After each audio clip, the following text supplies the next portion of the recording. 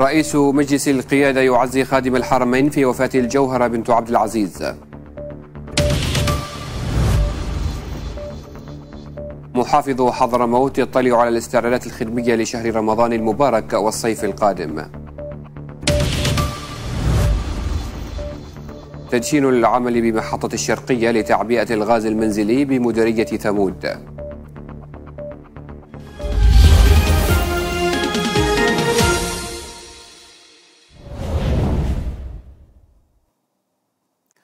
أهلا مشاهدينا نشرة إخبارية مفصلة من تلفزيون حضرموت. بعث فخامة الرئيس الدكتور رشاد محمد العليمي رئيس مجلس القيادة الرئاسي برقية عزاء ومواساة إلى أخيه خادم الحرمين الشريفين الملك سلمان بن عبد العزيز في وفاة الأميرة الجوهرة بنت عبد العزيز بن عبد الرحمن آل سعود وأعرب فخامة الرئيس باسمه وأعضاء المجلس الرئاسي عن خالص تعازيه لأخيه خادم الحرمين الشريفين سائلا الله أن يتغمد الفقيد بواسع الرحمة والمغفرة وأن يلهم الأسرة المالكة الكريمة والشعب السعودي الشقيق الصبر والسلوان. ثمن محافظ حضرموت الأستاذ مبخوت مبارك بن ماضي الجهود المبذولة في الإعداد والترتيب لتنفيذ امتحانات الفصل الدراسي الثاني بمدارس وثانويات المحافظة للعام الدراسي 2022-2023 والتحضيرات لإنجاحها بالصورة المطلوبة تتويجا لنجاح واستقرار العام الدراسي الحالي. وأكد المحافظ دعم السلطة المحلية بالمحافظة للقطاع التربوي من أجل استمرار استقرار العملية التعليمية متمنيا للطلاب التوفيق والنجاح. وكان محافظ المحافظة قد استمع من مدير مكتب وزارة التربية والتعليم بساحل حضرموت أمين عبد الله بعباد إلى الترتيبات التي سبقت الامتحانات وتم اتخاذها لضمان تنفيذ الامتحانات على الوجه الأكمل. هذا ويتقدم لأداء الامتحانات النهائية للفصل الدراسي الثاني في عموم مدارس وثانويات حضرموت عدا الصف الثالث الثانوي للعام الدراسي 2022-2023 عدد عدد 309,113 طالبا وطالبة. منهم 175,161 طالبا وطالبة على مستوى مدارس ساحل حضرموت و133,952 طالبا وطالبة في مدارس الوادي والصحراء. اطلع محافظ حضرموت الأستاذ مبخوت مبارك بن ماضي اليوم بالمكلا على الاستعدادات الخدمية لشهر رمضان المبارك والصيف القادم.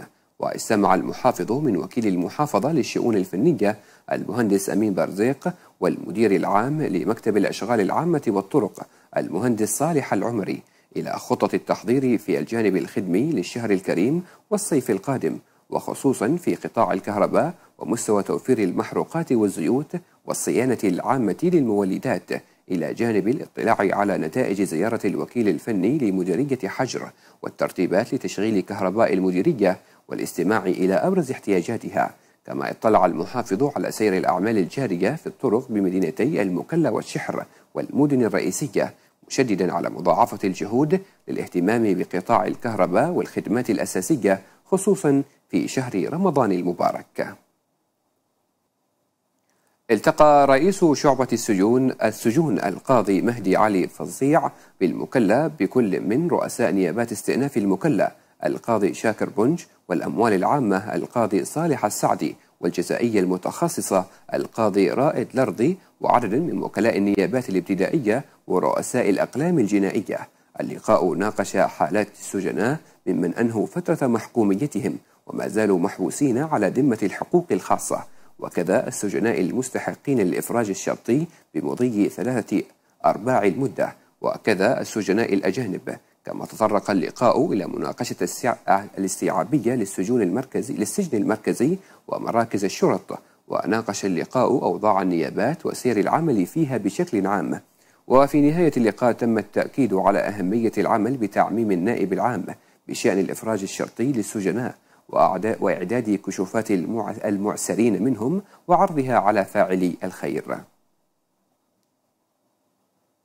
افتتح المدير العام لمديرية ثمود المهندس رزيق أحمد رزيق المنهالي والأمين العام للمجلس المحلي بمديرية ثمود الشيخ حسن هادي العامري. العمل بمحطة الشرقية لتعبئة الغاز المنزلي بمديرية ثمود البالغ البالغ إنتاجها حوالي 2000 أسطوانة غاز باليوم. وخلال الافتتاح الذي حضره عضو مجلس النواب الشيخ صالح سالم العامري تم التعرف على المحطة ومكوناتها. وشرح آلية العمل فيها والتوزيع وأوضح النائب العامري أهمية هذه المشاريع الحيوية التي تخدم المواطنين بالمناطق الصحراوية حاثا رجال الأعمال والمستثمرين على العمل في مثل هذه المشاريع الاستثمارية. أقامت مؤسسة حضرموت للتراث والتاريخ والثقافة بالمكلا حفل إشهار وتوقيع كتاب تاريخ الصحافة في حضرموت لمؤلفه الأستاذ خالد سعيد مدرك رئيس المؤسسة بحضور المدير العام لمكتب وزارة الإعلام بساحل حضرموت خالد أحمد القحوم. وفي الحفل ألقيت العديد من الكلمات قدمها مكتباء الإعلام والثقافة ونقابة الصحفيين بحضرموت أشادت بالجهود الكبيرة التي قام بها المؤلف في سبيل تأليف هذا الكتاب القيم. وعدته مرجعا ومصدرا مهما عن تاريخ الصحافة في حضرموت نظمت الجمعية الدولية لرعاية ضحايا الحروب والكوارث في مدينة الغيضة بمحافظة المهرة فعالية توعوية بمناسبة اليوم العالمي لأمراض الكلى الذي يصادف التاسع من مارس من كل عام.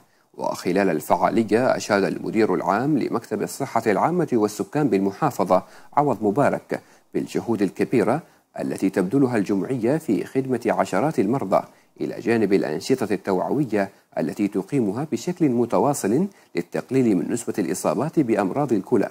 فيما تحدث الدكتور محمد إبراهيم منسق برنامج الغسيل الكلوي في الجمعية الدولية عن تزايد الإصابات بأمراض الكلى في البلدان النامية كاليمن نتيجة اكتشافه مؤخرا مما يصعب عملية علاجه. داعيا الجميع إلى التفاعل مع الحملات التوعوية التي تطلقها الجمعية وإيصالها إلى شريحة واسعة من المجتمع المحلي في مختلف مديريات المحرة. تشهد عدد من المحافظات اليمنية حالة من عدم الاستقرار الجوي خلال الفترة من منتصف مارس الحالي وتستمر إلى إبريل القادم بصورة متفرقة وتشير آخر تحاليل التنبؤات العددية ومخرجاتها إلى تأثر حالة من عدم الاستقرار الجوي على بلادنا وذلك بتكاثف, بتكاثف أحزمة من السحب الركامية الرعدية مصحوبة بهطول أمطار تتراوح بين المتوسطة ومتفاوتة الشدة مع احتمالية تساقط حبات البرد وهبوب رياح نشطة السرعة مع جريان للسيول والشعاب على هضاب حضرموت ومرتفعاتها وأوديتها وسحارها مع امتدادها إلى أجزاء من مدن ساحل حضرموت ومديرياتها. وتشمل هذه الاضطرابات الجوية محافظات حل مهرة وأبين وشبوة وعدن ولحج ومأرب والجوف والمحافظات الوسطى والغربية من بلادنا. هذا وأشار مصدر الأرصاد إلى أن شهر رمضان المبارك يصادف دخول فصل الربيع وسيكون معدل هطول الأمطار فيه هذا العام أعلى من المعدل الطبيعي على حضرموت وبقية محافظات الجمهورية اليمنية. ودعا المصدر السلطات المحلية في محافظة حضرموت والمحافظات المذكورة إلى رفع الجاهزية والاستعداد الأمثل.